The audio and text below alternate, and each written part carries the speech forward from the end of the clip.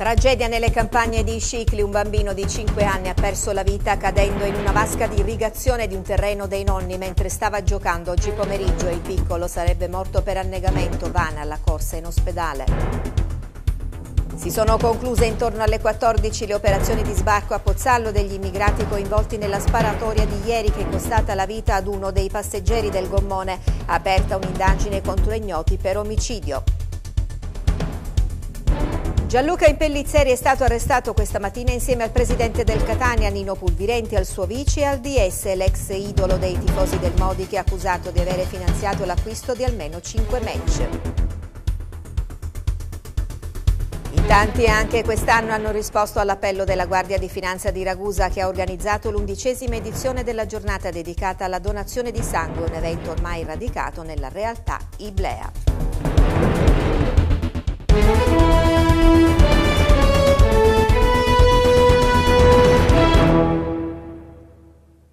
Benvenuti ad MTG, dunque l'avete sentito dai titoli in apertura, c'è la cronaca con la tragedia di oggi pomeriggio a Scicli in contrada Spinazza. Un bambino di 5 anni annegato in una vasca per l'irrigazione mentre giocava nel terreno di proprietà del nonno. È stato lui ad accorgersi di quanto accaduto e a cercare di soccorrere invano il nipotino. L'uomo si è precipitato in ospedale ma tutto è stato vano. Il piccolo era morto annegato. Sentiamo tutti i dettagli dal servizio. Tragedia oggi pomeriggio nelle campagne ciclitane di Contrada Spinazza a Monte di Donna Lucata. Un bimbo di 6 anni è morto annegato dopo essere caduto per cause in corso di accertamento da parte dei carabinieri in una vasca di irrigazione parzialmente piena d'acqua. A fare la tragica scoperta sarebbe stato il nonno del bambino che dopo averlo cercato invano lo avrebbe trovato esanime. Il nonno lo ha subito recuperato e dopo aver tentato invano di rianimarlo lo avrebbe immediatamente portato all'ospedale Busacca di Scicli dove i medici però non hanno potuto fare altro che constatare che il piccolo era morto. La causa del decesso sarebbe stata provocata da asfissia, da annegamento, ma non è escluso che il bambino abbia prima perso i sensi sbattendo la testa sul fondo della vasca. Sono stati i medici del Busacca a chiamare i carabinieri che adesso dovranno ricostruire l'esatta dinamica della tragedia che si è consumata oggi pomeriggio intorno alle 17.30. Il bambino sarebbe caduto nella vasca mentre giocava. Si sono concluse intorno alle 14 le operazioni di sbarco al porto di Pozzallo degli immigrati coinvolti in una sparatoria al largo della Libia. Molti di loro, dopo essere stati visitati dal medico, sono stati condotti in ospedale. Intanto la Procura di Agrigento ha trasmesso il fascicolo delle indagini con le dichiarazioni dell'immigrato rimasto ferito durante l'attentato alla Procura di Ragusa che ha aperto un'indagine contro ignoti per omicidio, tentato omicidio e favoreggiamento dell'immigrazione clandestina. Viviana Sammito. Alle 13.50 294 migranti, tra cui 237 uomini, 51 donne e 6 minori provenienti dall'Etiopia, Eritrea, Gambia e Bangladesh sono entrati nel centro di primo soccorso e accoglienza di Pozzallo dopo una lunga e tragica traversata sul canale di Sicilia dove ha perso la vita un migrante del Gambia ed è gravemente rimasto ferito uno. Tutti gli immigrati sono in buone condizioni, ma il medico del porto, il dottor Morello, ha disposto il trasferimento all'ospedale di otto donne incinte. Quattro a Modica, due a Vittoria e altre due a Ragusa. Una minore e un uomo sono stati trasferiti a nosocomio modicano per un malessere, ipotermia e disidratazione procurati durante il difficile viaggio. Le testimonianze degli immigrati sopravvissuti alla sparatoria sono determinanti per gli investigatori che stanno ricostruendo il quadro del delitto. L'immigrato morto è stato trasferito intorno alle 10.30 di stamane all'obitorio del cimitero di Pozzallo, dove il pubblico ministero di turno e il sostituto procuratore Valentina Botti ha disposto l'autopsia dopo aver già nominato il medico legale. Il PM era presente al porto durante le operazioni di sbarco in attesa degli interrogatori. Prima il comandante della nave, battente bandiera panamense, che ha soccorso i migranti e dopo a tutto il gruppo testimone dell'agguato. Il ferito, un immigrato di 32 anni originario del Gambia, ricoverato all'ospedale Giovanni di Dio di Agrigento, ha raccontato che dei miliziani libici hanno abbordato con una motovedetta il gommone per derubarli. Quando però si sono ribellati hanno sparato. Io sono rimasto ferito, ha raccontato un altro migrante morto. Lui ha reso le sue dichiarazioni al procuratore di Agrigento Renato Di Natale, già trasmessa alla procura di Ragusa, unica titolare dell'inchiesta, che però potrebbe anche essere estesa a quella di Catania se gli inquirenti, oltre all'omicidio, al tentativo di omicidio al favoreggiamento dell'immigrazione clandestina, contestano il reato dell'associazione per delinquere finalizzata all'immigrazione clandestina. Tra l'altro la Procura Eblea deve fare i conti con un altro dato, verificare se l'omicidio è avvenuto in acque internazionali o territoriali, oltre ad identificare il responsabile ed individuare il movente.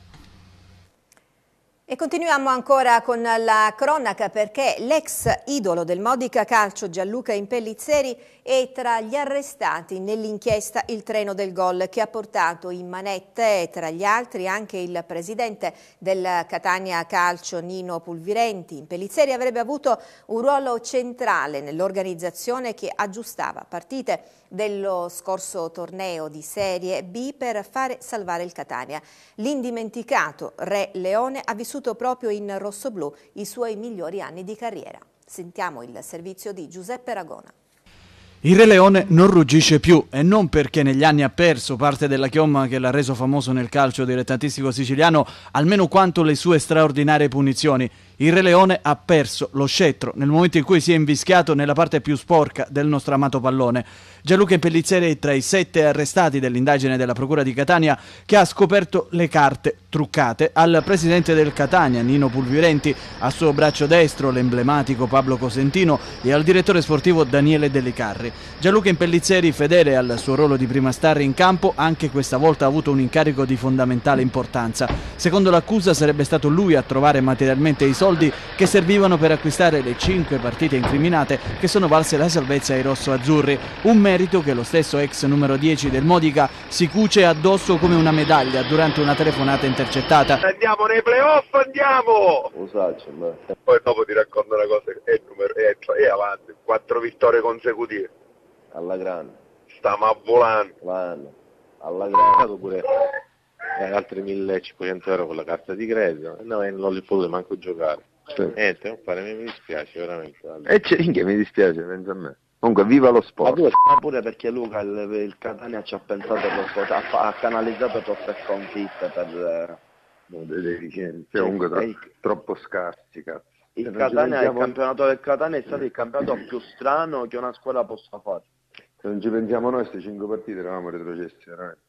Impellizieri, dopo il suo ritiro dal calcio qualche anno fa, gestisce un'azienda di scommesse online e attraverso questa attività sarebbe rientrato abbondantemente ad ogni partita dagli esborsi fatti, 10.000 euro a calciatore per aggiustare i risultati. Da calciatore si fece conoscere con il bel passo dei miracoli, presidente Nino Pulvirenti, allenatore Pino Rigoli, vinse un torneo di eccellenza in volata sul Modica di Antonio Urnia, che si innamorò di lui e lo volle portare l'anno successivo nella Contea, insieme al tecnico Rigoli e allo zoccolo duro di quel bel passo, Corbino, Di Mauro e D'Arrigo su tutti. A Modica ha vissuto gli anni migliori della sua carriera, dal 2002 al 2005 ha vinto il torneo di eccellenza riportando i rossoblù in Serie D dopo 30 anni, ha vinto il titolo di capocannoniere nel 2003 2003 e nel 2004. Le sue punizioni sono diventate calci di rigore per l'alta percentuale di realizzazione. Nel 2005 però a Urnia e l'allora DS Sorbo decidono di non puntare più su di lui, preferendogli un altro grande vecchio come Nino Barraco e Carmelo Bonarrigo. Il Modica vince la Serie D e torna tra i professionisti. Il Re Leone va a Palazzolo dove dimostra di non essere ancora finito, rivincendo il titolo di capocannoniere in eccellenza. Nel 2006 torna a Modica, appena radiato, da avversario però con la maglia del Palazzolo e viene accolto dagli applausi applausi dei tifosi che lo hanno sempre idolatrato. Finisce la carriera sempre da protagonista, come è sempre stata tutta la sua carriera, come ancora una volta in questa triste storia. Nuova raffica di perquisizioni a Comiso da parte dei carabinieri indirizzati a quei soggetti già noti alle forze dell'ordine per reati legati allo spaccio di stupefacenti. Nel corso di una perquisizione presso l'abitazione del giovanissimo pregiudicato Gianluca Zago sono stati trovati ben sette panetti di hashish pronti per essere venduti al dettaglio. Il diciottenne già noto per reati riconducibili sempre allo spaccio è stato arrestato. I carabinieri di Comiso hanno arrestato il diciottenne pregiudicato Gianluca Zago, nella cui abitazione sono state ritrovate sette stecchette di hashish già suddivise in dosi e quindi pronte per essere smerciate e messe sul mercato. Lo stupefacente era ben occultato all'interno di un pacchetto di sigarette, a sua volta celato dietro il mobiletto di uno sgabuzzino, dove sarebbe stato quasi impossibile individuarlo senza l'aiuto dell'unità cinofila dell'arma, composta dal cane Ivan, il cui fiuto, non appena entrato nello sgabuzzino, veniva immediatamente attirato nella zona dove era nascosto lo stupefacente. Inoltre, a poca distanza, occultato sopra un altro mobiletto, veniva rinvenuto anche un coltello a serramanico, ancora intriso della stessa sostanza stupefacente rinvenuta poco prima, e quindi sicuramente utilizzato per tagliare lo stupefacente da suddividere in dosi da spacciare al minuto. Zago, nonostante la giovane età, è già ben noto ai carabinieri che nel mese di febbraio del 2014, quando era ancora minorenne, lo avevano arrestato perché sorpreso a spacciare hashish ad altre due giovani commissani. Inoltre, meno di un mese fa, veniva nuovamente trovata in possesso di altri 14 grammi di hashish e segnalata all'autorità giudiziaria. Gianluca Zago è fratello di Francesco, già arrestato in passato per lo stesso reato e convivente dello stesso fratello. Per tale motivo l'abitazione perquisita era da tempo sotto osservazione da parte dei militari dell'arma. Le indagini adesso proseguiranno per individuare la provenienza dello stupefacente e per cercare di capire se Zago sia il componente di una più vasta rete di spacciatori operante sulla piazza di Comiso. L'impegno è che si vada in aula il 30 giugno. Sono dell'idea che prima di tutto dobbiamo attribuire le funzioni ai liberi consorsi e alle città metropolitane. Così il presidente dell'Ars Giovanni Ardizzone al termine dell'incontro con una delegazione dei dipendenti delle ex province siciliane oggi scesi in piazza a Palermo. Ardizzone ha ribadito che se non si fa la legge di riforma si va al dissesto del delle province. Se si va al dissesto delle stesse è chiaro che a cascata c'è il dissesto della regione con voto anticipato nel mese di ottobre. Urla, insulti, tensione alle stelle. L'assemblea pubblica voluta ieri dal sindaco di Pozzallo Luigi Ammatuna per spiegare le ragioni di certi importi sulle bollette della Tari è degenerata in un clima rivoluzionario. I pozzalesi erano pronti a far valere le proprie ragioni in tutti i modi. Il primo cittadino e il suo vice a fatica sono riusciti a parlare tra il caos generale. Sentiamo. Clima da resa dei conti ieri pomeriggio a Pozzallo. La popolazione è insorta dopo le ultime bollette Tari, giudicate spropositate, che sono state recapitate a commercianti e semplici cittadini nei giorni scorsi, tra i quali la maxi cartella da 17.941 euro che un gestore di un lido ha ricevuto. Il sindaco Luigi Amatuna e il suo vice Gugliotta hanno incontrato ieri i pozzallesi per tentare di spiegare i tanti perché di questi conti salati che in alcuni casi, come ci hanno detto i diretti interessati, hanno registrato un aumento del 300% rispetto all'anno scorso. La pubblica assemblea ha vissuto attimi di tensione, rabbia, urla e insulti. La gente è esasperata e quello a cui abbiamo assistito ieri ne è la più chiara dimostrazione. Io al 31 dicembre ho chiuso l'attività con quattro, quattro dipendenti e più il titolare. Eh, il titolare che mio figlio è andato fuori a lavorare all'estero e i dipendenti sono disoccupati, una carrozzeria. Dicono che hanno ragione, dice che la legge di stabilità non lo so, ma che stabilizza noi o loro? E non vogliono pagare le tasse, nel giusto li pagano i cittadini pozzallesi e che sono triplicati. No, quadruplicati. Quadruplicati. Vi sentite presi in giro? Eh, ma no, una volta, sì, cento volte, cento volte, perché ormai questi buffoni e pagliacci di, lo fanno di proposito per rompere ma non si parla di differenziato, dove vanno a finire questi soldi? No, il cittadino vuole sapere, no? Facciamo questa differenziata, i soldi chi se li prende? Nei comuni civili quando si aumenta la differenziata si abbassa la spazzatura, si abbassano i costi, qua invece aumentano. Me a casa qua siamo due persone, io e mia moglie, e ci è arrivato 500 euro di, di tari. Come mai questo, dove vanno a finire questi soldi qua? Come detto, la goccia che ha fatto traboccare il vaso, il casus belli, è stata la bolletta recapitata al gestore del lido privato che ieri era in prima fila a far valere le proprie ragioni. L'articolo 36 mi sembra che dice che in base al lavoro che si fa eh, l'uomo deve vivere in dignità e in libertà perché quello stipendio è quello che ci tiene una dignità. Me la stanno togliendo, io non ho più una dignità perché lavoro dalla mattina alla sera facendo i calcoli non mi rimane niente. Ora con una stangata del genere significa che io andrò ancora più basso di 20.000 euro io appenderò le chiavi, io lavoro in nero, che dato lo Stato ci di lavorare in nero, lavoriamo in nero, almeno so che 30 euro netti in tasca e posso vivere, perché io lavorare per uno stipendio mi sembra che è una cosa è surreale. In tanti anche quest'anno hanno risposto all'appello della Guardia di Finanza di Ragusa che ha organizzato in occasione del 241 anniversario del Corpo l'undicesima edizione della giornata dedicata alla donazione di sangue in divisa. Vediamo. È ormai una piacevole consuetudine ed un gesto di valore pratico e simbolico che questa mattina si è ripetuto per l'undicesima volta. All'Avis di Ragusa la Guardia di Finanza, assieme alle altre istituzioni iblee, ha dato vita alla giornata della donazione del sangue in divisa.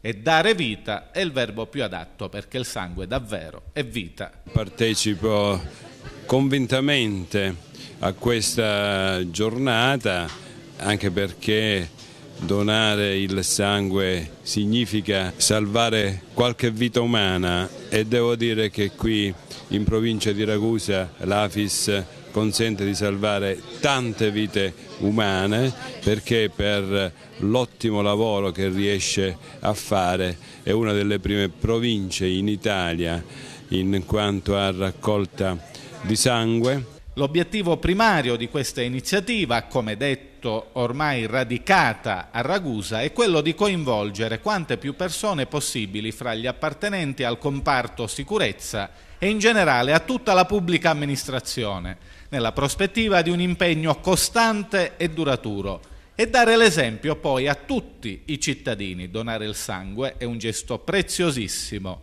per aiutare il nostro prossimo. Doniamo il sangue, è un esempio che bisogna dare a tutti quanti, è un piccolo gesto ma di una grandissima importanza, quindi speriamo che eh, siamo arrivati all'undicesima edizione, ce ne saranno sicuramente delle altre, noi faremo di tutti per mantenere lo spirito che tutti quanti Ragusa anima, tutte le persone in divisa e tutta la pubblica amministrazione. E al termine della cerimonia oggi sono stati diffusi tutti i dati relativi ai primi cinque mesi di lavoro delle Fiamme Gialle in eh, provincia. Eh, tra eh, i tanti ne diamo alcuni, 24 sono stati gli evasori totali scoperti, 71 le persone denunciate per frode, oltre 4 milioni di euro il valore dei beni sequestrati per reati tributari e oltre 1500 kg di tabacchi sequestrati. Da gennaio a maggio sono stati inoltre sequestrati 771 grammi di hashish e marijuana, 123 di cocaina, 5.223 i migranti soccorsi dalla Guardia di Finanza nelle operazioni di salvataggio, 162.000 i chilogrammi di rifiuti industriali sequestrati.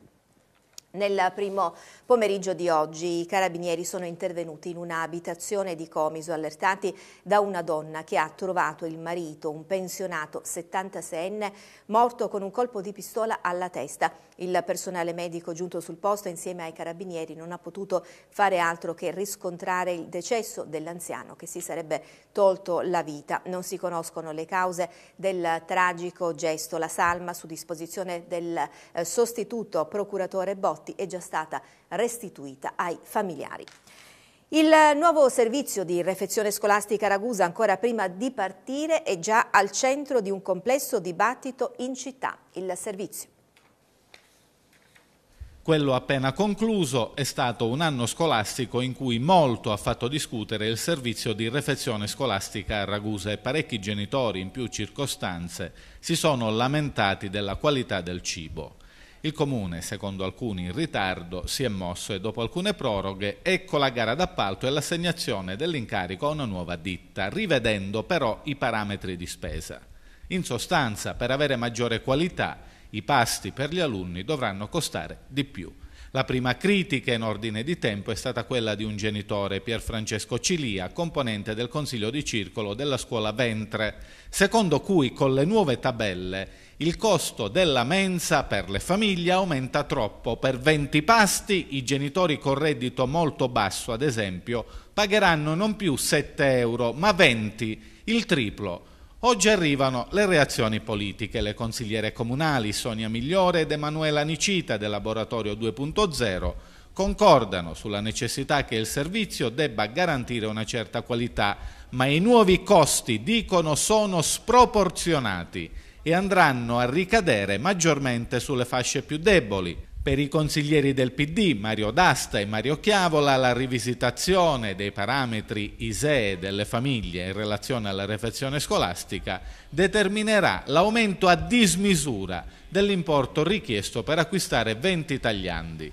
Il sindaco, sempre oggi, risponde così. Ovviamente la qualità ha, ha determinato anche un aumento, una rivisitazione di, un, di, una base d'asta che prima era di 3 euro e qualcosa, se non, se non, ricordo male, lo scorso anno, adesso siamo partiti a quasi 5 euro, quest'anno come base d'asta, infatti abbiamo avuto eh, adesso una, un, credo un 20% del ribasso, quindi comunque il pasto è di circa 4 euro, questo è il costo, ma si tratta di un costo adesso che permette di fare un pasto di qualità. E quindi chiedere qualcosa in più, 50 centesimi o un euro su 4 euro di, di servizio significa comunque pagare il 25% di quello che è il costo costo vero del, del pasto. Piccitto poi, anche fuori dalle pieghe del bilancio, si dice pronto a verificare una soluzione all'aumento della quota chiesta alle famiglie. Se sarà possibile, l'amministrazione troverà altre risorse riducendo la spesa per la mensa a carico dei genitori. Cercheremo di verificare se ci sono dei margini per ritoccare le tariffe, dato che è possibile farlo anche prima del bilancio di previsione. L'Assemblea nazionale di Union Camere svoltasi ieri a Roma ha eletto come nuovo presidente Ivan Lobello. Il servizio.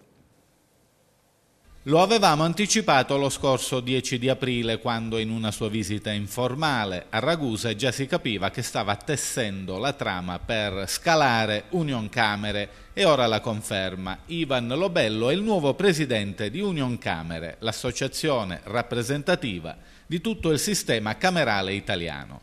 Sarà in carica per i prossimi tre anni, lo hanno eletto ieri i presidenti delle Camere di Commercio italiane riuniti a Roma in occasione della 142esima Assemblea. Imprenditore, 52 anni, già vicepresidente di Union Camere, Lobello è stato anche il numero uno degli industriali siciliani è attualmente vicepresidente nazionale di Confindustria e presidente della Camera di Commercio di Siracusa. Nella sua nuova veste, in sostanza, ha ribadito concetti già espressi a Ragusa qualche settimana fa, ovvero che le Camere di Commercio possono svolgere un ruolo di grande rilevanza per la modernizzazione di tutta l'Italia e benché la riforma in discussione in Parlamento costringe a ripensare in profondità il sistema camerale e ad innovare il modello operativo, bisogna essere pronti a fare la propria parte. Ivan Lobello più volte ha rimarcato come dall'accorpamento delle Camere di Commercio, Sicilia compresa, debba scaturire un sistema che abbia chiarezza nelle funzioni, un'organizzazione territoriale efficiente e naturalmente risorse adeguate e coerenti. Adesso la linea va alla regia, c'è la pubblicità tra poco.